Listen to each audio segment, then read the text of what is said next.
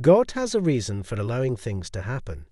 We may never understand His wisdom, but we simply have to trust His will. What is meant for you is coming. It is already yours. There is nothing and no one that can stop that.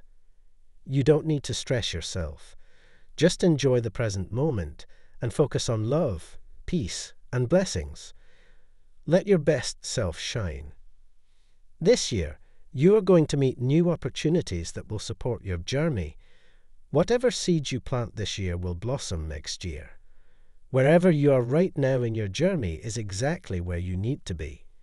There are blessings and lessons in every step of the way. Don't resist, but surrender to the beauty and magic of life. It is right here and right now. I want you to become your higher self.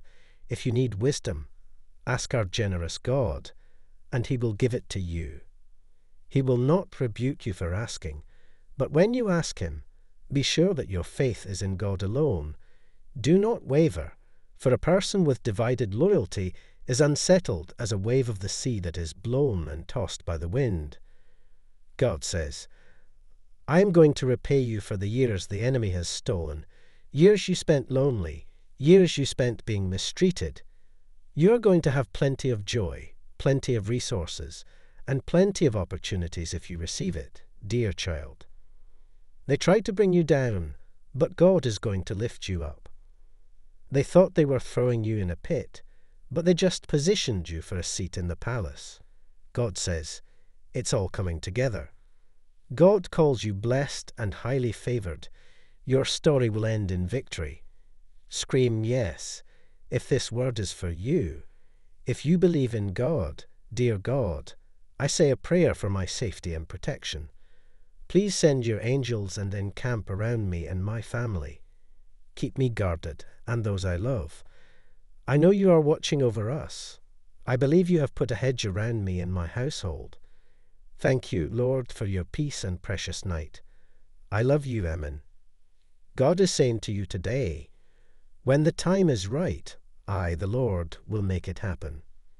The beauty is we don't have to make it happen. You don't have to manipulate things, force a door to open, or make yourself get well. God is going to make it happen. You may have obstacles that are too big for you. Don't see how you can get out of debt, or how you can accomplish a dream. The good news is you are not on your own. At the right time, God will open the doors. God is saying to you today, stop settling yourself for less than you deserve.